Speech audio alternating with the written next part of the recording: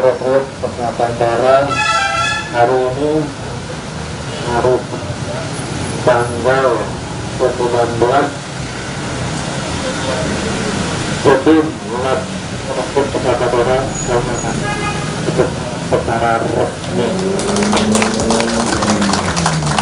PLT Bupati Cianjur Haji Herman Suherman meresmikan gedung baru Laboratorium Kesehatan Daerah Labkesda Cianjur yang berlokasi di Jalan Raya Cianjur Bandung depan kantor Desa Bojong pada hari Selasa tanggal 19 Februari 2019. Didampingi Kepala Dinas Kesehatan Kabupaten Cianjur Tresna Gumilar, Kepala BK PPD Kabupaten Cianjur Tohari Sastra, beserta jajaran pegawai Labkesda Cianjur, PLT Bupati Cianjur mengunjungi dan melihat beberapa ruangan. Pada kesempatan tersebut, PLT Bupati Cianjur Haji Herman Suherman mengatakan saat ini peralatan yang ada di Labkesda sudah cukup memadai, akan tetapi masih kekurangan SDM. Maka dari itu ke depan pihaknya pun akan membantu Labkesda mengatasi masalah tersebut. Kita baru mempunyai satu ini, satu Labkesda ya, ini bisa dipergunakan oleh seluruh masyarakat Cianjur.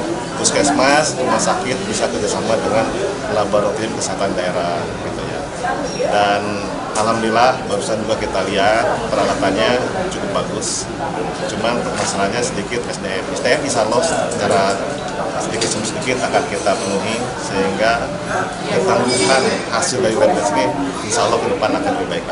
Sementara Kepala Labkesda Cianjur, Dr. Haji Tuti Holidayati mengatakan, laboratorium kesehatan daerah ini selain untuk menunjang diagnosa kesehatan, juga dapat digunakan untuk pemeriksaan narkotika. Bahkan bisa juga digunakan untuk mengecek kualitas air yang digunakan untuk konsumsi ataupun penggunaan air lainnya.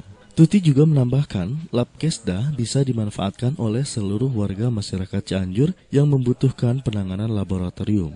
Labkesda seperti biasa mulai dibuka pada hari Senin sampai dengan hari Jumat dari pukul 7.30 pagi sampai dengan pukul 4 sore. Di sini juga pemeriksaan narkotika, narkoba. Jadi untuk calon pegawai negeri atau calon pegawai atau untuk anak sekolah pemeriksaan narkobanya di sini kita bisa dan juga untuk pemeriksaan kesehatan air kebersihan air uh, secara kimia dan bakteri. Apa itu airnya memenuhi untuk diminum memenuhi syarat untuk diminum atau untuk kolam renang misalkan itu kadar kloridanya terlalu tinggi atau terlalu rendah ini bisa di sini. Untuk kerja jam kerja kita seperti normal aja jam 8 kurang sampai jam 7.45 jam 8 lah sampai jam 4 dari hari Senin sampai Jumat